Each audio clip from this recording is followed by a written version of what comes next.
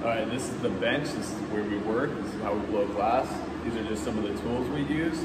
These are called the jacks. All right, and that's actually how you hold the jacks. These are straight shears. All right, that's how you hold the straight shears. Basically some scissors. These are tweezers. Okay, that's how you hold the tweezers. This is what you use to grab the glass. And this cool tool is called the diamond shear. See how it makes a diamond? All right.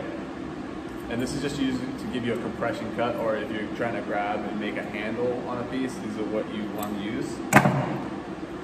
This charred piece of paper is just that, paper. It's folded up newspaper soaked in water.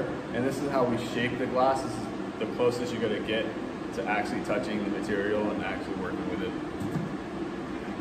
This is a bench torch. It's not on right now. Uh, I'll show you what it looks like when it's on.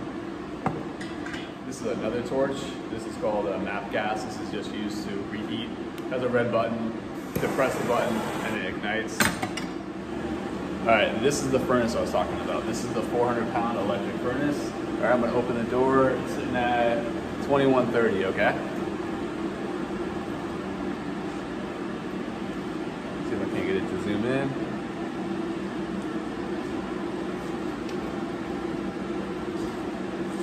Yeah, it's too bright, so I'm gonna zoom in.